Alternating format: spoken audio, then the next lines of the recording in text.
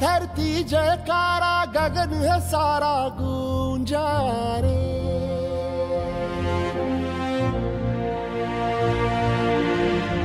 जग में लहराया न्यारा, ध्वज है हमारा ऊँचा रे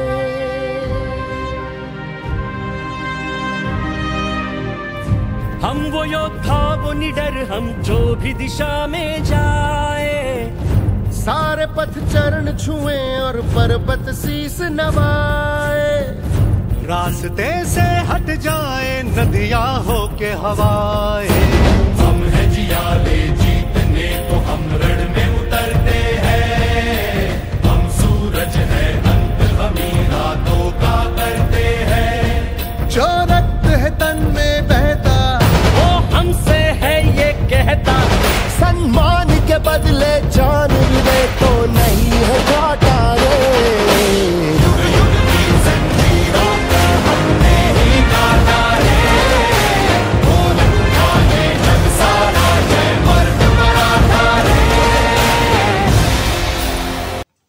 আমি যে ছবিটি দেখে এসেছি, সেটা পানিপথের তৃতীয় যুদ্ধের ওপর আধারিত। এই যুদ্ধটা উনিশশো না উনিশশো না উনিশশো না, আঠেরোশো না, সতেরোশো হ্যাঁ সতেরোশো একষট্টি খ্রিস্টাব্দের চোদ্দোই জানুয়ারি পানিপথের ময়দানে হয়েছিল বা লড়া হয়েছিল। তো এই যুদ্ধটা লড়া হয়েছিল মারাঠা সাম্রাজ্য ও দুর্রানি সাম্রাজ্যের মধ্যে। মারাঠা সাম্রাজ্য পরিচালিত ছিল তৎকালীন মহারাষ্ট্রের যে মারাঠা বা মানে শিবাজির বংশধর বা পেচুয়ার বংশধর যারা ছিলেন, তাদের মধ্যে, তাদের সাথে আহমদ শাহ আবদানি মানে দুর্রানি সাম্রাজ্যের যিনি হেড ছিলেন বা রাজা ছিলেন। তো এই গল্পটাকে বা এই সত্যি ঘটনাটাকে আমরা কিন্তু কখনো পড়ি না মানে আমাদেরকে পড়ানো হয় না। কেন হয় না? কাদের দ্বারা এইসব ইতিহাসগুলো বিঘ্নিত হয়েছে এটা আপনারা জানেন আমি আশা করি। আর এই ধরনের গল্পগুলো জানা, বর্তমান আমাদের যে যুবরা আছি তাদের পক্ষে খুব জরুরি। তো এই গল্পটা আর এই এই গল্পের যে শেষটা ছিল, আমি উইকিপিডিয়াতে পড়েছি, আমি প্রচুর বইতেও পড়েছি, সেটা কি অ্যাকচুয়ালি জাস্টিস পেয়েছে মানে ছবির মাধ্যমে, নাকি ছবিটা ঘেরানো হয়েছে? সেই নিয়েই আজকে আমাদের এই ভিডিওটি।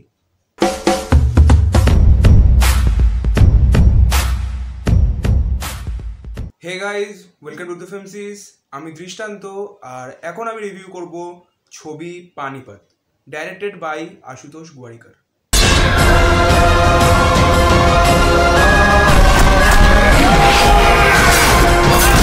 अब हमारे बीच कोई दरिया नहीं है। अब हमारे बीच सिर्फ़ पानीपत की यह रणभूमि है।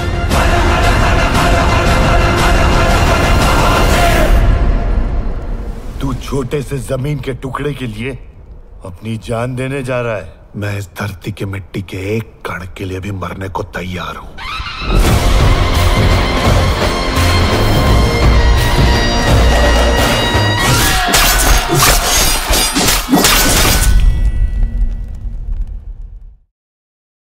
তো পানিপত দেখে এসে আমার যেটা মনে হয় যে এই সিনেমাটার যে ট্রেলারটা এসেছিল সেটাকে যে লেভেলের ট্রোল করা বা খিল্লি করা হয়েছে সেটাকে সম্পূর্ণ জবাব দিয়েছে এই সিনেমাটা।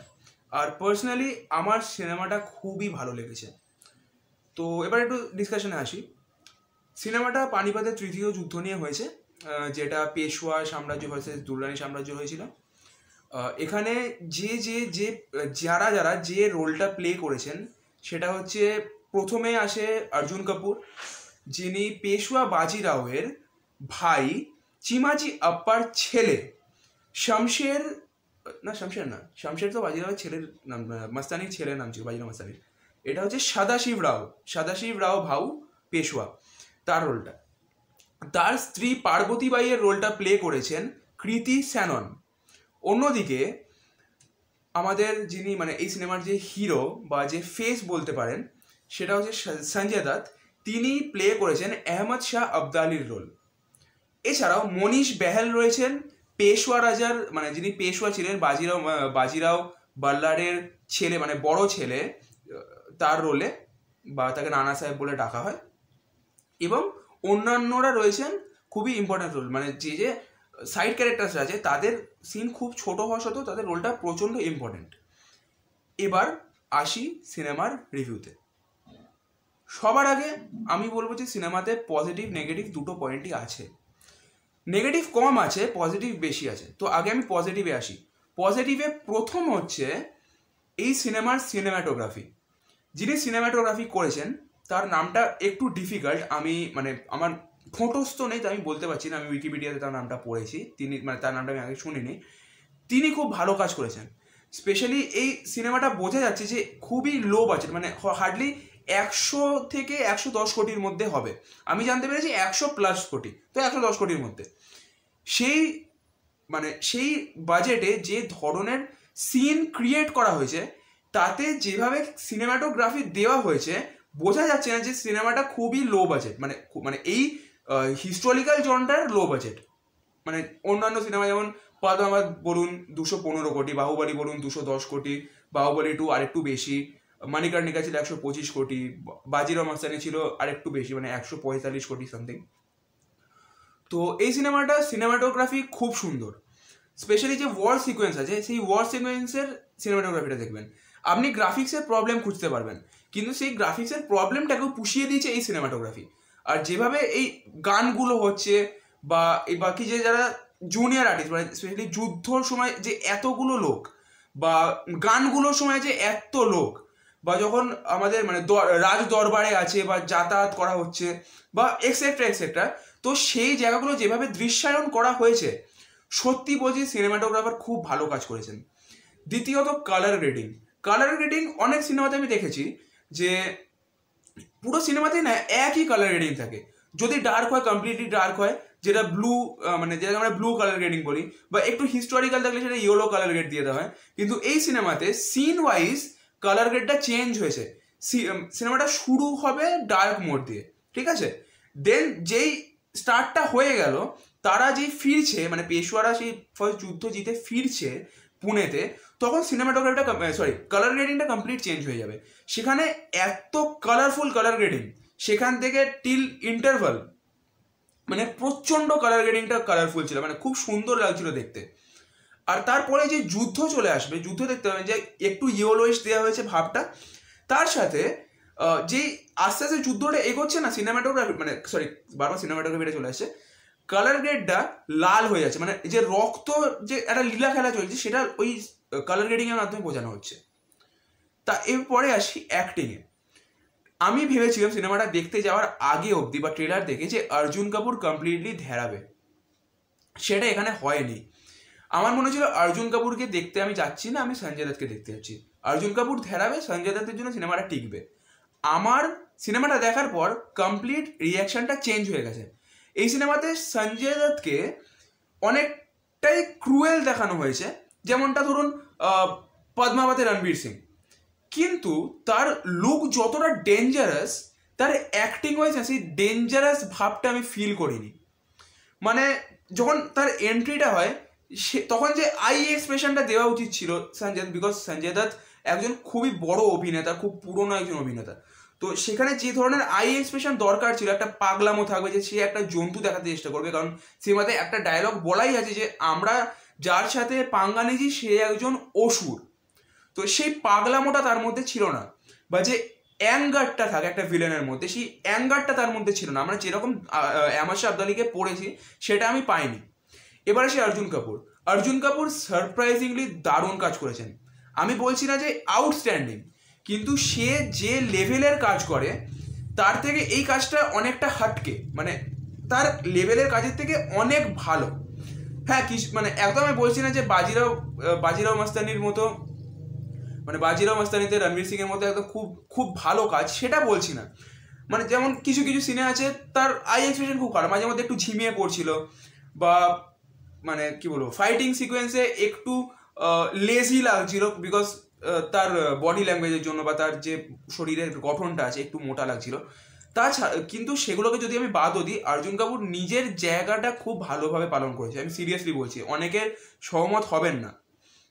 এরপর, এরপরে আসি কৃতি স্যানন কৃতি স্যানন দুধ হওয়ার সময়, কৃতি স্যাননকে আমি জানি, কৃতি স্যানন খুব একজন ভালো অভিনেত্রী, কিন্তু এই সিনেমাতে তিনি যে লেভেলের অ্যাক্টিং দেখিয়েছেন তা সত্যি সরানোর লায়ক মানে সরানো মানে সরিয়ে দেওয়া মানে বলে না, সারহানে কে লিয়ে, বা সারহানে কে লায়ক, এই সারহানে টাইপের। তো তার specially eye expression scene by scene change হচ্ছে। আর যেভাবে যে সিচুয়েশনটা সিচুয়েশন ওয়াইজ তার আই এক্সপ্রেশন একদম অ্যাপ্রোপ্রিয়েট চার নম্বর মানিশ বেহাল। মানিশ বেহেল, আমরা সবাই জানি মানিশ বেহেল একজন খুব ভালো অভিনেতা। তিনি তার রোলটা খুব ভালোভাবে প্লে করেছেন স্পেশালি যে দুঃখের জায়গাগুলো, তার চোখটা একদমই ছলছলে চোখ নিয়ে চলে এসেছিলেন একদম লাল হয়ে গেছে চোখটা এই ধর, লাল হয়ে গেছে চোখটা। তো অ্যাক্টাররা যে যার নিজের জায়গায় ভালোভাবে পালন করেছেন। হ্যাঁ আমি সঞ্জয় দত্তের থেকে আরেকটু বেশি কিছু আশা করেছিলাম, সেটা হয়নি। বা- কিন্তু ঠিক আছে, যতটা হয়েছে। মানে সব কিছু দেখতে গেলে অ্যাক্টিং দিকটা খুব ভালো ভালো, খুব ভালো ভালো যার যেটা মনে হয়। এবার আসি গানের দিকে বা ব্যাকগ্রাউন্ড মিউজিক যেটা এই সিনেমার আরেকটা যান অনেকে ব্যাকগ্রাউন্ড অনেকের ব্যাকগ্রাউন্ড মিউজিক খারাপ লাগে মানে ভালো লাগেনি। কারণ সেই এন্টারটেনমেন্টের মতো ব্যাকগ্রাউন্ড মিউজিকটা দেওয়া হয়নি বা গানগুলো এন্টারটেনমেন্টের জন্য হয়নি। যেটা আমাদের, কি বলে, সঞ্জয় লীলা পদ্মাবাদ বলুন বাজিরাও মাস্তানিতে থাকে, যেমন মালহারি ছিল, আর একটাতে ওই খালিবালি ছিল। তো ওগুলো এন্টারটেনমেন্টের জন্য। এটাতে না এন্টারটেনমেন্টের কোনো গান নেই। এটাতে মারাঠা প্রাইডকে উৎসর্গ করার যে গানগুলো মানে যে আমি দেখাচ্ছি যে আমাদের মারাঠার যে প্রাইড কতটা, আমাদের আসল ভারতীয় যে রাজা রাজরা থাকে, ছিলেন, তাদের প্রাইডটার জন্য এই গানগুলো করা হয়েছে। আর ব্যাকগ্রাউন্ড মিউজিক সত্যি বলব গুজ বাম্পস এনে দিয়েছিল আমার। স্পেশালি আমার তো গুজ বাম্পস এসেই গেছিল। তো ব্যাকগ্রাউন্ড মিউজিক আর একটা পজিটিভ দিক। চার নম্বর পজিটিভ দিক আর্ট ডিরেকশন যিনি আর্ট ডাইরেক্টর আমি নাম ভুলে গেছি, আমার ঠোঁটস্থ নেই বলে, আমি ভুলে যাই, এটা আমার খুব বাজে একটা অভ্যেস। তিনি বর্তমানে ইন্ডিয়ার সব থেকে ভালো আর্ট ডাইরেক্টরদের মধ্যে অন্যতম। তিনি দারুণ আর্ট ডিরেকশন দিয়েছেন। স্পেশালি একটা মানে যেখানে মুঘল দরবারটা দেখিয়েছিল, ওই সেম মুঘল দরবারটা কিন্তু যোধা আকবরে আগ্রার মুঘল দরবারটা দেখানো হয়েছিল। এটা অনেকে হয়তো খেয়াল করেননি।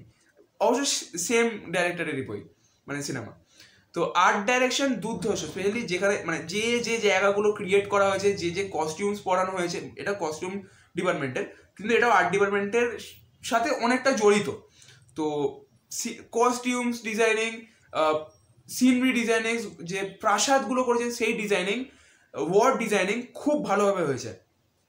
এবার হচ্ছে নেগেটিভ পয়েন্টে নেগেটিভ পয়েন্ট একটা আমি বলেই দিয়েছি, সেটা হচ্ছে সঞ্জয় দত্তের একটু ডাল অ্যাক্টিং মানে আমার খুব একটা সেই টপ নচ লাগেনি অ্যাজ আ ভিলেন দু নম্বর হলো, বড্ড লেন্দি মানে তিন ঘণ্টা। হ্যাঁ আমাকে কিন্তু এই তিন ঘণ্টা একবারও আমাকে মানে বোর করেনি। কিন্তু অনেককে বোর করবে। কারণ আমাদের বর্তমানে অডিয়েন্স এরকমই হয়ে গেছে কম মানে মানে কম একটা ডিউরেশনের সিনেমা দেখব। বা হার্ডলি দু ঘণ্টা তিরিশ মিনিট মানে আড়াই ঘণ্টা। কিন্তু তিন ঘণ্টা বড় বা দু ঘণ্টা পঞ্চাশ মিনিট বড় সিনেমাটা মানে স্ক্রিন প্লে অনেকটা অডিয়েন্সকে মানে একটা খারাপ প্রভাব ফেলবে অডিয়েন্সের প্রতি। তো এটা পনেরো মিনিট কমানো যেতেই পারতো বা দু ঘণ্টা চল্লিশ থেকে পঁয়তাল্লিশ মিনিট হয়ে যেতে পারতো। দু ঘণ্টা পঁয়ত্রিশ মিনিটও হতে পারতো। সেটা একটা মোটামুটি খারাপ দিক হয়ে যাচ্ছে। তিন নম্বর হচ্ছে, এই যে নামটা মানে পানিপথ, দ্য গ্রেট বিট্রায়াল, তো এই গ্রেট বিট্রায়ালটা কি মানে এটার সাথে কি একদম জাস্টিস করেছে? আমি বলব না। হ্যাঁ বিট্রায়ালগুলো দেখানো হয়েছে যে আমরা নি- ইন্ডিয়ানরা নিজেদের মধ্যে খেয়েও খেয়ে তো মারা যাচ্ছি। এখানে কারা কারা বিট্রে করেছে? ওয়ারের যে বিট্রেটা ছিল, আমি স্পয়লার দেবো না। কিন্তু সেটা যেভাবে দেখানো হতো, আর এই বিট্রেটার সময় যে ওই সিনটাকে তৈরি করা, একটা ইমোশন তৈরি করা যে তুই আমাকে ধোকা দিয়ে দিলি ভাই। তো এই জিনিসটা না আমি ফিল করিনি, মনে হয় খুব তাড়াতাড়ি জিনিস ব্যাপারটা হয়ে গেল, পাঁচ মিনিটের মধ্যে শেষ হয়ে গেল। এটা একটা খুব বড় মাইনাস পয়েন্ট এই সিনেমার ক্ষেত্রে। তিন নম্বর হলো, এই সিনেমার সিজিআই হ্যাঁ আমি জানি যে সিনেমাটা একশো কোটি বাজেটের সিনেমা খুবই কম মানে পিরিয়ড ড্রামার ক্ষেত্রে খুবই কম। একশো থেকে একশো দশ কোটির মধ্যে সিনেমাটা করা হচ্ছে। যেখানে মানিকার্নিকা ছিল একশো পঁচিশ সামথিং ছিল পদ্মাবাদ ছিল দুশো পনেরো কোটি বাজির মাস্তানি ছিল একশো পঁয়তাল্লিশ কোটি সিনেমা কিন্তু তার সত্ত্বেও আরেকটু বেশি বাজেট নিয়ে সিনেমাটা করা উচিত ছিল। তাহলে আরও ভালো আমরা ভিজুয়ালসটা পেতাম। তো এটা একটা খারাপ দিক। আর একটা খারাপ দিক হলো যদি আমরা মানে যারা পাবলিক আছেন যে এই সিনেমাটা যদি আপনারা আরেকটু মন দিয়ে দেখেন, আপনারা বুঝতে পারবেন যে মারাঠারা মানে মারাঠাদের যে স্যাক্রিফাইসটা ছিল, সেটা খুব একটা ভালোভাবে দেখানো হয়নি হয়নি। যেমন চিমাজিয়াপ্পা কিন্তু খুব একটা ভালো মানুষ ছিল না।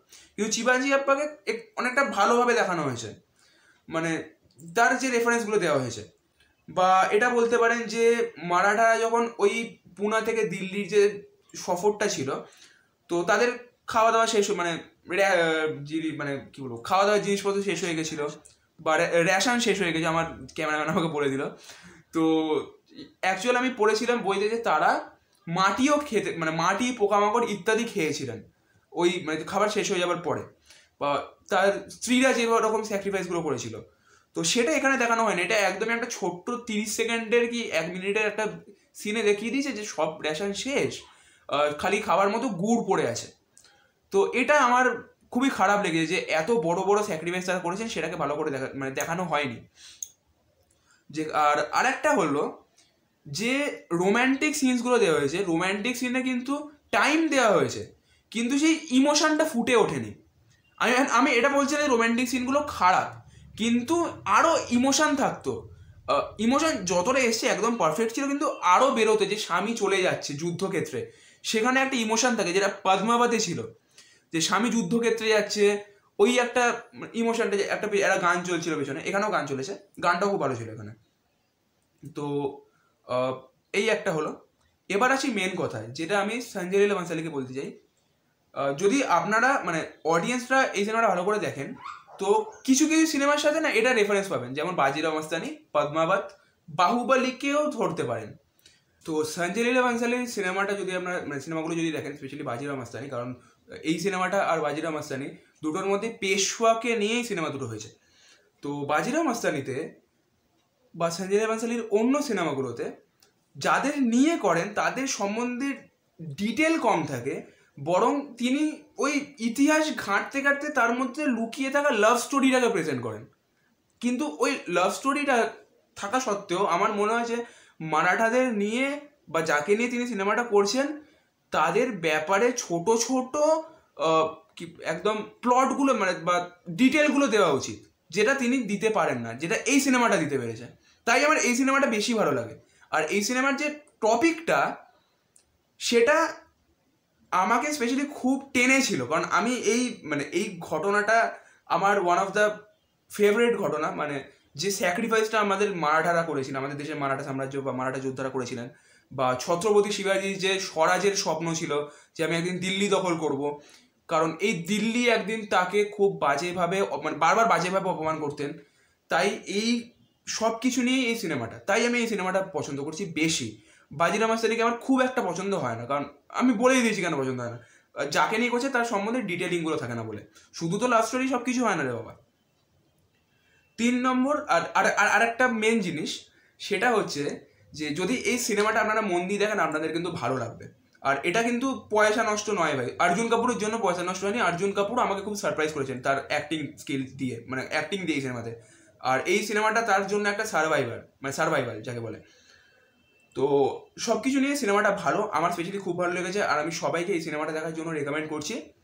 আর আমি এই সিনেমাটাকে রেট দেবো মানে যদি আমাকে একটু রেট দিতে বলে, তাহলে রেট দেবো আমি seven point one out of ten তো সবাই সিনেমাটি দেখবেন, সিনেমাটা খুব ভালো সিনেমা।